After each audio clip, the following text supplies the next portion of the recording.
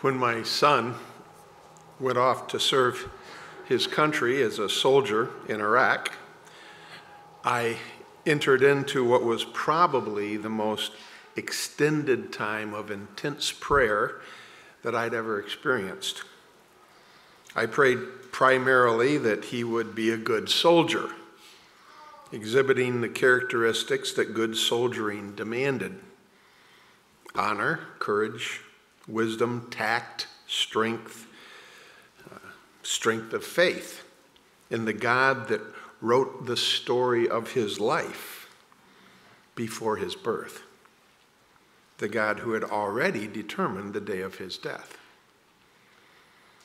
I prayed that God would protect them, and I prayed that God would give him success.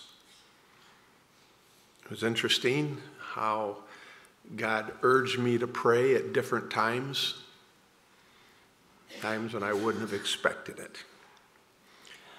And my son came home. Injured? Yeah, but better and stronger and a wiser man. Across the country, there were other parents, no doubt more righteous than myself, praying very similar prayers. But their sons and daughters did not come home.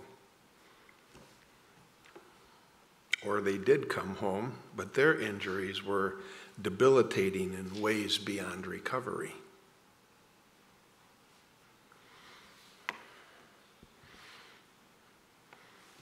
A seven year old boy curled up in his bed with a pillow wrapped around his ears, listening to his parents fight in the next room.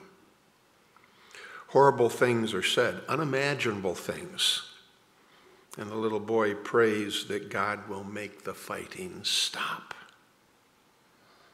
In Sunday school, the lesson taught that whatever we ask of God in Jesus' name and in accordance with his will will be granted. And so, night after night, week after week, month after month, the little boy prays. And one day, dad moves out and never comes home again. Boys and girls, men and women, victims of brutish, selfish, dishonest people, pray for God to make the evil stop. And sometimes it does, and sometimes it does not. Skeptics say prayer makes no difference, it's a waste of time. If there is a God, his decisions are capricious or inconsistent and without thought or reason. People of faith say everything happens for a reason, and his ways are higher than our ways, and all things do work together for the good of those who love him and are called according to his purposes.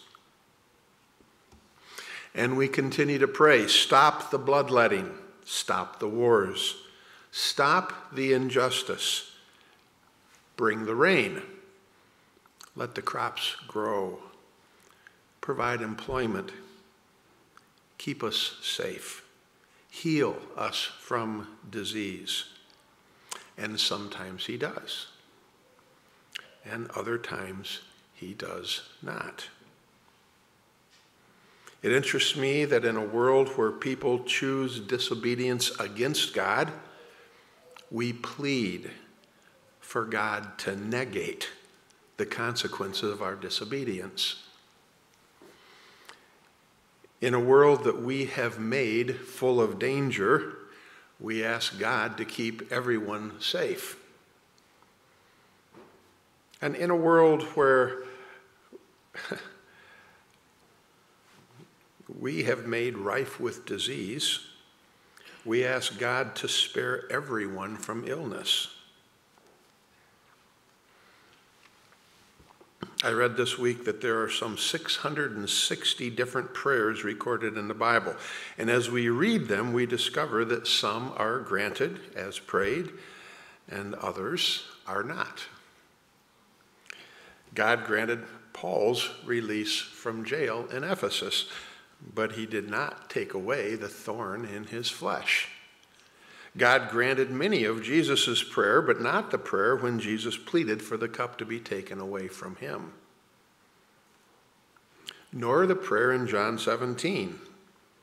One might argue that uh, he prayed that his disciples would love one another so that the world would know of the Father's love and that Jesus was sent by the Father. Critical things for the world to know. And the church soon splintered, and it is estimated that today there are more than 34,000 different groups of self governing Christians in the world. I guess we could easily say from looking around us that Jesus answered that in part, but certainly not the whole. We probably all know people who have given up on God because they've drawn the conclusion that God has given up on them because their prayers were not answered in the manner in which they were prayed. These are the hard issues of our faith and it will be the lessons of faith that will eventually save us. When God answers our prayers in the manner that we expect, we tend to begin to trust Him. The more often He capitulates to our bidding, the more we trust Him, and our faith in Him grows. But is it really a faith in the one true God? or one that we have created in our own minds. The heavenly sugar daddy. Is that the way it's supposed to work? Is this what Jesus taught? Remember what he told Thomas when Jesus appeared to his disciples in a closed room after the, after the resurrection?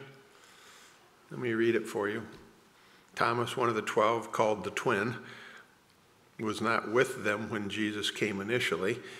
So the other disciples told him, We have seen the Lord. But he said to them, Unless I see his hands, in his hands, the mark of the nails, and place my finger into the mark of the nails, and place my hand into his side, I will never believe.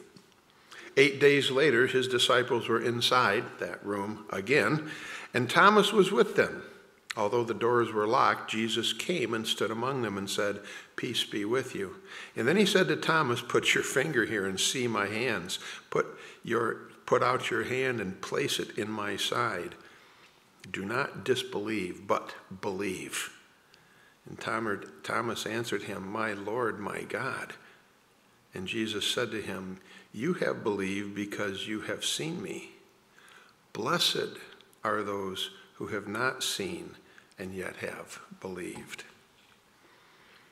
That chapter ends by saying, Now Jesus did many other signs in the presence of the disciples, which are not written in this book, but these are written so that you may believe that Jesus is the Christ, the Son of God, and that by believing you may have life in his name. Why should we believe in a God who doesn't answer all of our prayers, even when we pray for good things in His name? It seems to me, from reading this account concerning Thomas's relationship with the Lord, that Jesus is telling us that I have give you plenty of reasons to believe in me. Stop looking for reasons to disbelieve. Plenty of evidences of my love for you have been witnessed and recorded for your sake, so that you will believe. And that you may believe that Jesus is the Christ, the Son of God. And that by believing, you will have life in my name. Prayer should enhance and increase our faith, not cause us to doubt. Prayer is far more than verbalizing our wish list. Prayer helps us acknowledge God's presence as we worship Him. Prayer helps us cultivate our relationship with Him as we spend time in conversation with Him. And the more we come to know Him and the closer we draw to them, Him and understand His magnificence and glory, the more we will trust Him to answer our prayers in a way that will glorify Him and not us. Jesus' disciples recognized Jesus' relationship with God, and it affected his prayer life. And they asked him to teach them to pray.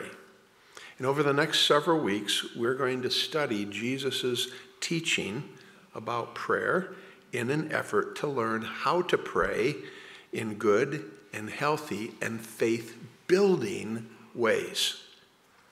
So if you want to join me in Matthew chapter 6, there are two accounts of Jesus' teaching.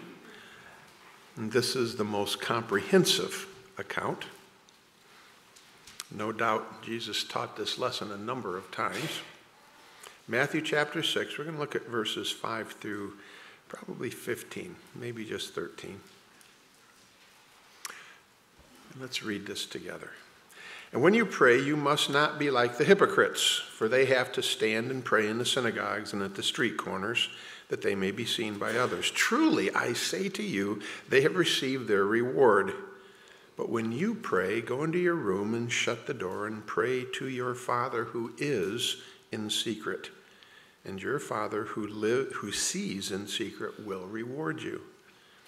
And when you pray, do not heap up empty phrases as the Gentiles do, for they think that they will be heard for their many words. Do not be like them, for your Father knows what you need before you ask Him.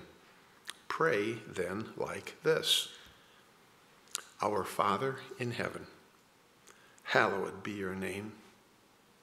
Your kingdom come, your will be done on earth as it is in heaven.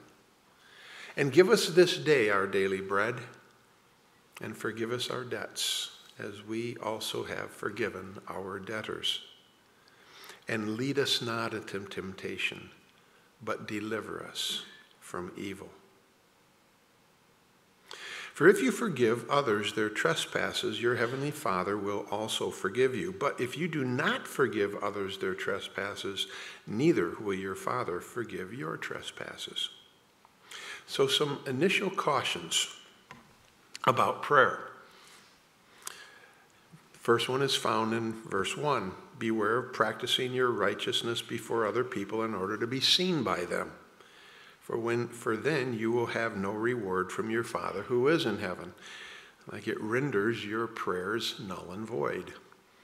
And then verses 5 and 6 says that when you pray, you must not be like the hypocrites, for they love to stand and pray in the synagogues and at the street corners that they may be seen by others. Truly I say to you, they have received their reward. But when you pray, go into your room and shut the door and pray to your Father who is in secret. And your Father who sees in secret will reward you. What we learn here is prayer in one sense, is a matter of integrity, like a hypocrite versus an honest man or woman. Feigning humility while publicly praying in order to make oneself appear to be righteous is hypocritically ugly. Feigning humility praying for God's forgiveness. Go down to verses 14 and 15. While refusing to forgive others, too, is hypocritically ugly. Prayer is not only a matter of integrity, it's a matter of your motive. We'll say the glorification of self versus the glorification of God. Why are you praying? Why we pray matters. Praying can be selfish or selfless. Praying can be done for the sake of your reputation, or the praying can be done for the sake of God's reputation.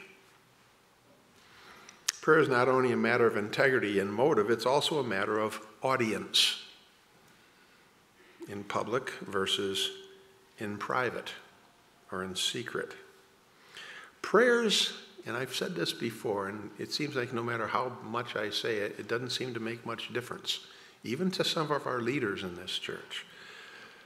But prayers are addressed to God. When we speak in prayer, we pray to God, not to the people who are hearing our voices.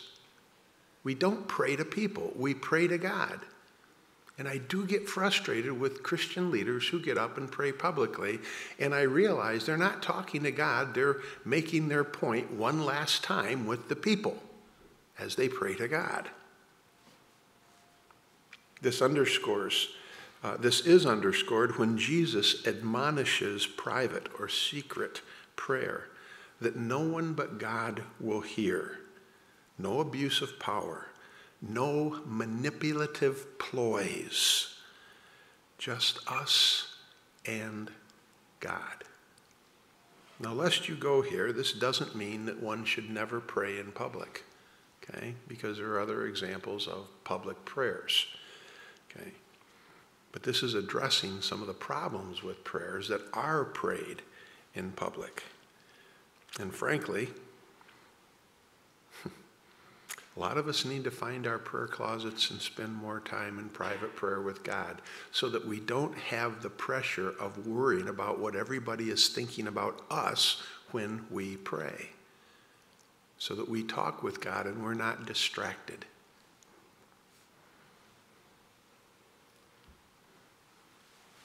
The Lord's Prayer begins with Our Father in heaven. Jesus tells us to address, listen, we're addressing the Lord of the heavens. We're addressing the God of the universe. He who is all power and might and honor and glory and strength and knowledge and wisdom and grace and love and justice. This is the God to whom we speak. He who was from the beginning and will be forevermore. That's our God. And Jesus tells that we tells us that we may address him as Father. Think about that contrast. Father,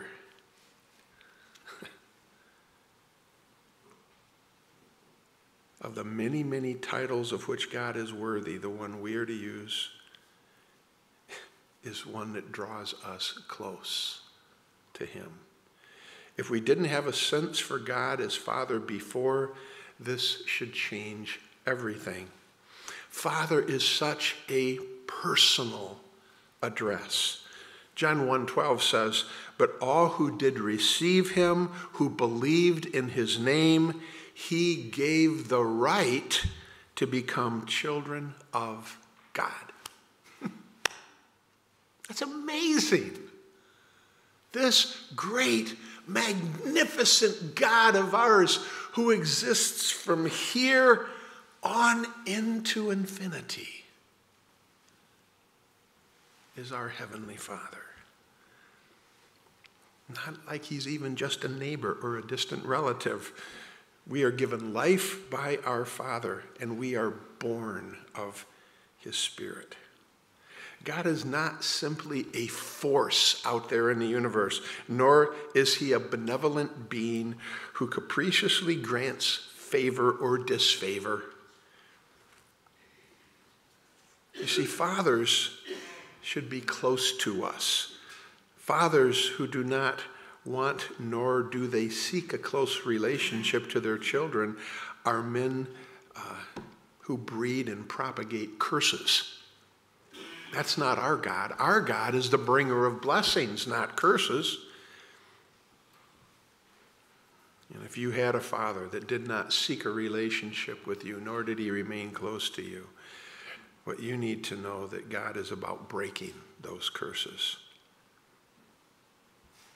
And God will break that curse if you draw close to Him in faith and in love. The other thing that fathers do, other than just draw close to us is they love us. 1 John 3 1 says, See what kind of love the Father has given to us that we should be called children of God? And so we are. In Ephesians 5 1 and 2, be imitators of God, therefore, therefore as dearly loved what? Children. And you live a life of love, just as Christ loved the church and gave himself up for her. And in John 3:16, for God so loved the world that he gave his only begotten son. And other things that fathers do is they discipline because they love. Hebrews 12:6 says, "For the Lord disciplines the ones he loves, and he chastises every son whom he receives." Fathers also care deeply about their children. 1 Peter 5, 6, and 7. Humble yourselves, therefore, under God's mighty hand, so that at the proper time he may exalt you, casting all your anxieties on him because, why? He cares for you. Fathers teach and they guide and they impart wisdom. Luke 11, starting at verse 11, says, What father among you, if his son asks for a fish, will instead of a fish give him a serpent? And if he asks for an egg, will he give him a scorpion? If you then, who are evil, know how to give good gifts to your children, how much more will the Heavenly Father give the Holy Spirit to those who ask Him? And the gift of the Holy Spirit is what allows us to impart wisdom and to guide our own children. Now, I know that father is an emotionally charged word for many people in the world today. 40% of the children in the United States these days are growing up without fathers in the homes. 40 some percent. So when I stand up here and say, you may address God as Father, that might not mean much to some people. And many who hear my voice don't care for the word Father because it stirs up feelings in them. And the feelings are myriad. Anger sometimes, for others, fear. Others hatred or disgust, some just pity for the weakness of their father, and some just extreme apathy that they have embraced as a defense mechanism. Some fathers are mean. Some fathers are selfish. Some fathers are twisted and perverse. Some fathers are abusive. Some fathers humiliate. Some fathers are weak and incompetent. Some fathers are lazy and excel in slothfulness. And some fathers are simply pitiful and clownish. Those who grew up under the authority of such men may be tempted to transfer their feelings about their earthly fathers to God, their heavenly Father. This would be a common temptation. But I would urge you, if this describes you, to form your opinions about God the Father as you would do any other person. Form your opinion about Him based on His merits, not a perspective that has been warped within you as a result of the sins of other men and women. It is in our best interest to know God as He is and not as Satan wants us to perceive Him. And since we have so great a Heavenly Father, let us embrace Him as He is. I believe that people instinctively understand good fatherhood and bad fatherhood.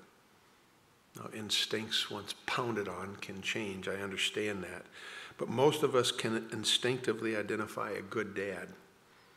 And God has placed these understandings in our hearts so that we can recognize and know Him, and so that we can recognize and know what He is not also.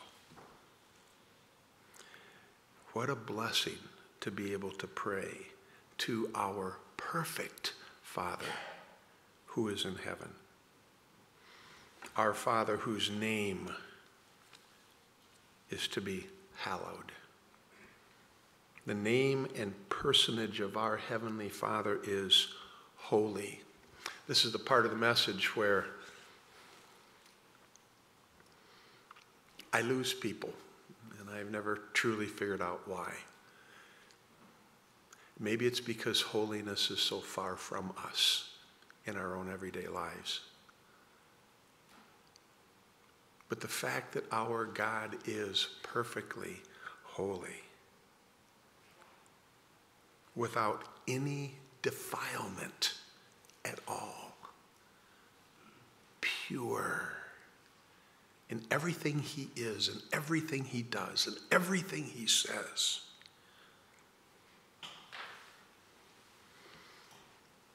perfection and a purity which is in which is of inestimable value which makes him due our praise and due our adoration and due our obedience and due our awe.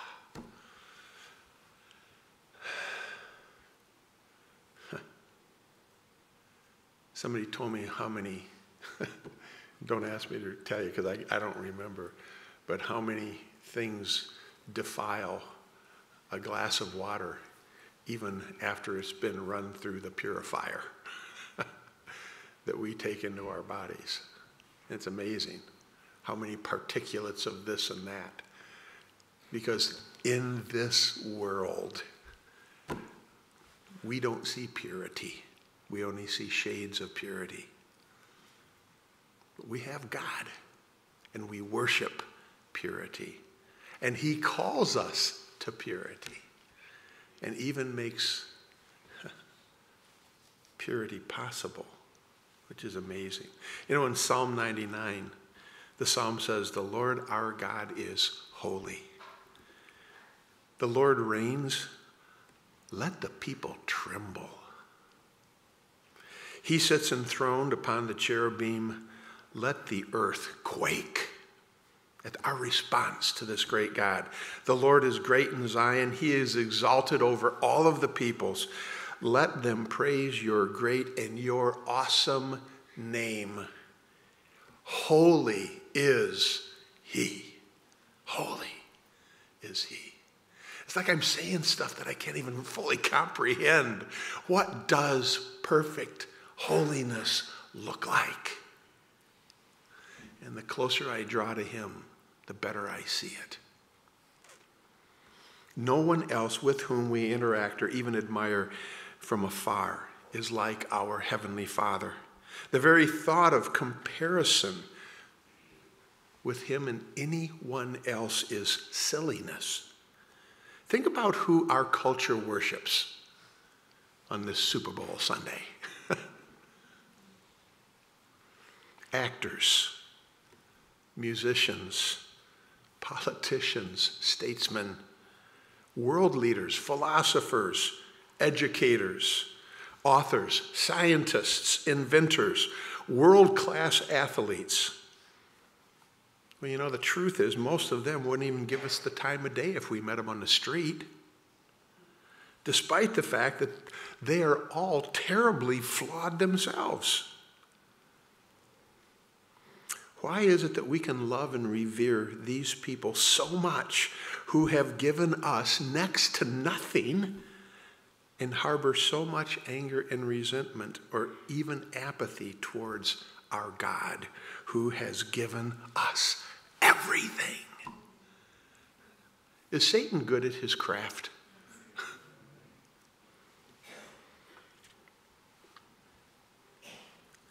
We close, I want to read some verses about our Lord And I just want you to drink them in. 1 Samuel 2 2 There is none holy like the Lord. For there is none beside you. There is no rock like our God. And I'm going to substitute like our Father.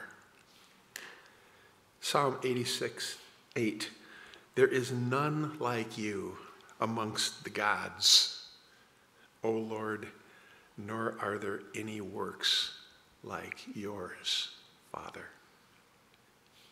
Jeremiah 10:6 There is none like you, O Lord. You are great and your name is great in might. That's my dad. Jeremiah 10:7 Who would not fear you, O king of the nations? For this is your due. For amongst all the wise ones of the nations and in all their kingdoms, there is none like my Father. None like him.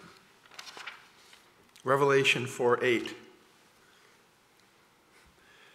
There were four living creatures, each of them with six wings, are full of eyes all around and within and day and night, they never cease to say, Holy, holy, holy is the Lord God Almighty who was and is and is to come. That's our Father. That's who we address when we pray. Heaven knows him. Heaven reveres him. This Father of ours is no ordinary being. He is greater than anyone or anything that we could ever begin to possibly imagine. Treating him as commonplace is just unwise. A practice really rooted, I don't mean to be offensive here, it's just the truth. It's rooted in ignorance of him.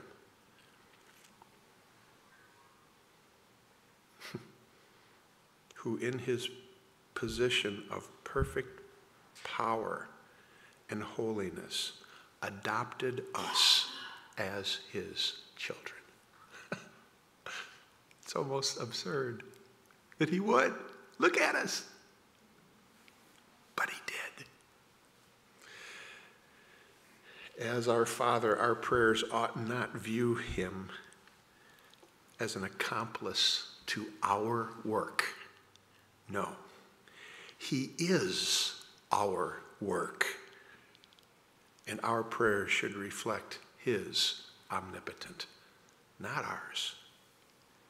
And as we pray to our fathers, our prayers should not ask, How can God help me accomplish my will? but rather, Father, how can I accomplish your will?